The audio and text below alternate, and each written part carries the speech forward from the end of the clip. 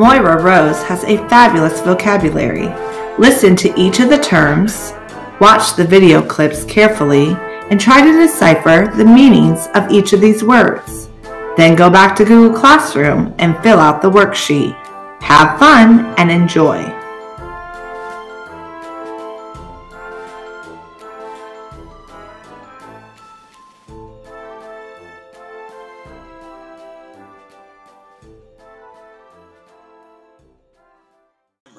What's really important. Okay? We are family. And we have to hang on to that. And you know as well as I do, Moira, that times of crisis, the one thing we need to hang on to is family. Dee Dee. We appreciate you coming to this town and offering whatever it is you're offering. Much appreciated. Seriously, I thought you were just coming here to gloat. No, no, no. I came here in the spirit of giving and forgiving. The, the gloating thing was a bonus. Moira, go on.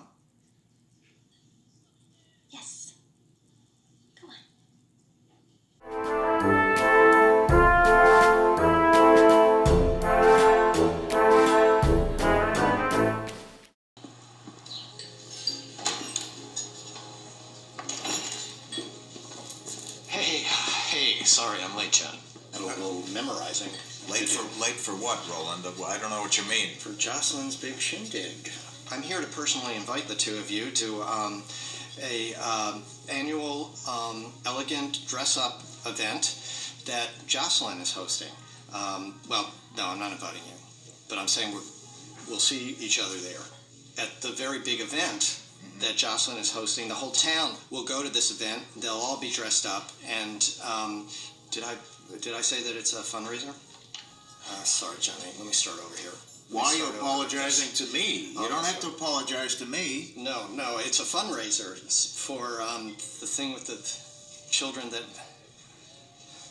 the with the mouth, the cleft palates, and um, uh, Joss does it every year. Well, and, uh, um, Roland, you know what? We're we're probably just going to be hanging around the motel on Saturday. You know. Yeah, no, I'm sure it's uh, hard to look at those kids and all that. I, I get it, but you know what? We'll dress them up too. It, it's Price good down to, for four tickets. really.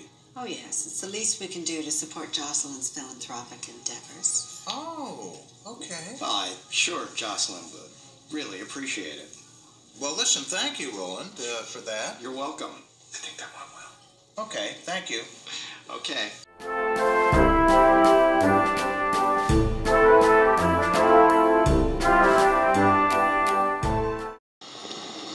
Jocelyn! Moira, hi! Jocelyn, I'm so glad I've run into you. Roland was mentioning your fundraiser earlier today and it got me thinking. Wait, what? Your annual fundraiser for the children with troubled mouths. Oh, right. Yes. It's going to be quite a night. I hope so, because I'd like to be involved. With. Your fundraiser, as I'm sure you know, I was on the board of some of the most profitable nonprofits from San Francisco to London. And after speaking with Roland, I realized I was remiss not to gift you with my wealth of experience. Wow, that's very generous of you, Moira. I was going to ask you, but I didn't want to impose. Jocelyn, you must stop being intimidated by me. It's unnerving. Sorry.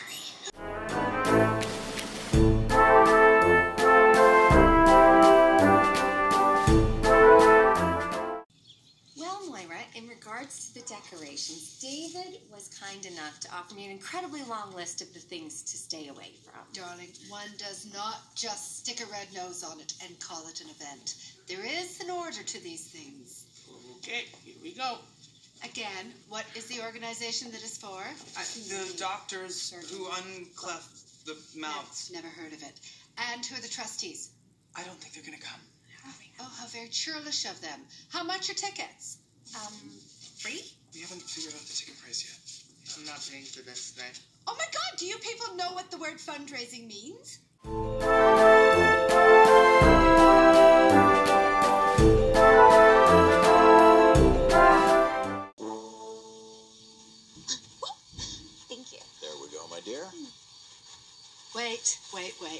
Class check.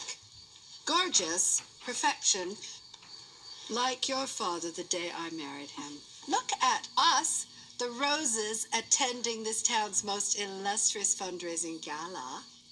Thank you for selling it just a bit. Well, I don't see any stragglers, so shall we go in? I think we're fashionably late enough. There's nothing fashionable about this, but After you, my dear.